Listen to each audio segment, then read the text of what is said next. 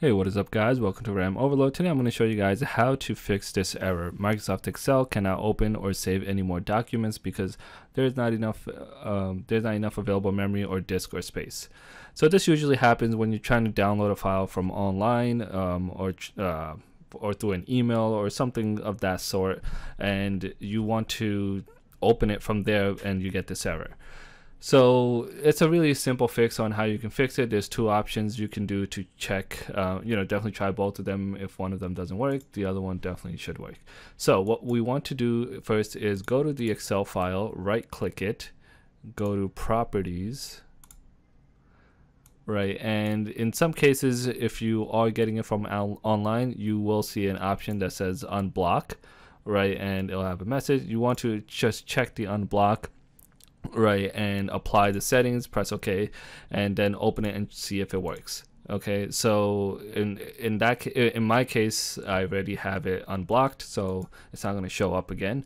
So if that does not work the other option you can do is go to file go to options go to trust center trust center settings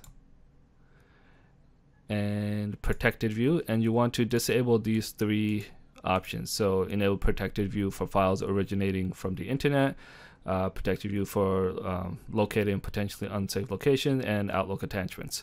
So you only want to do this if you definitely trust the person sending your sending the files to you, right? So you know if it's like a work thing, or uh, you know you you know who sent it to you is it's and he's 100% trusted, then you you only want to do this because you don't want to open run something on your computer which you know could potentially be unsafe.